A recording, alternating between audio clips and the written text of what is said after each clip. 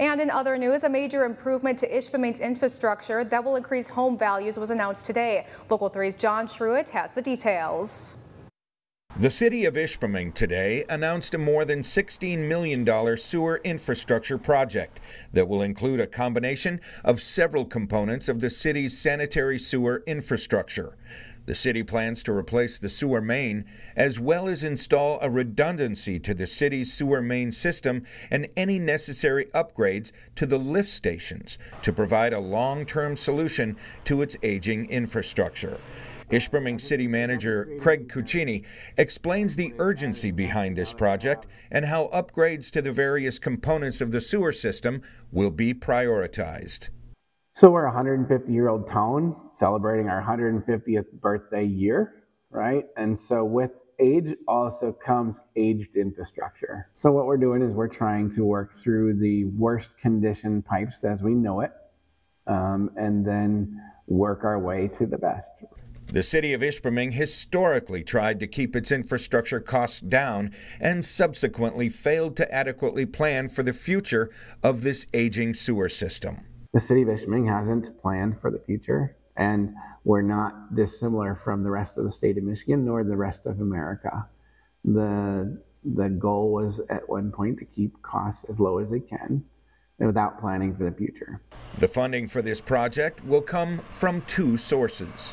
And ultimately, what we ended up with was $8 million of grants, no cost to our residents, and $8 million of low interest loan, which has some impact to our customers, but we believe that the savings along the line are probably going to wash most of the increased costs.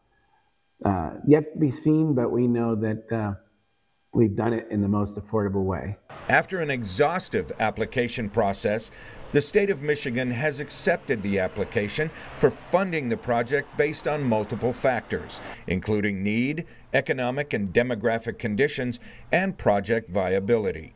And then they look at every application across the state of Michigan and they see who's going to score the best. And they give us all points based on our applications. And Ishpeming's score rose high enough to be funded. And because of our state of finances, meaning average household income and the amount of homes that are at or near poverty level and other things, we get scored in a way where we're eligible for a 50% grant, 50% loan. Some are worse than us, and they're able to get 100% grant. Uh, but 50 50 is the best we could do which is really quite good. Cugini is quick to point out that individual sewer lines from the main into the residents' homes will still be the responsibility of the homeowner. We're going to make sure their connection is still sound to our pipe. When we put a new pipe in, they are ensured that they're not disconnected. Uh, but that, that lateral from the main to their home is still their responsibility. The timeline for this project, although not exact, is expected to be completed well before the funding deadline of December 31st, 2026.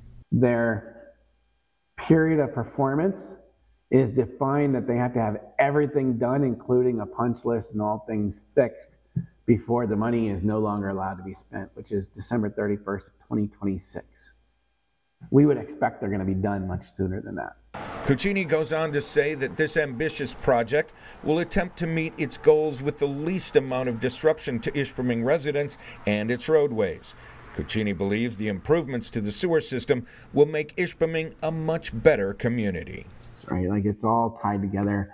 Um, property values go up as a neighborhood because you fixed large sections of, of sewer infrastructure in a neighborhood. In Ishpeming, John Truitt, Local 3 News.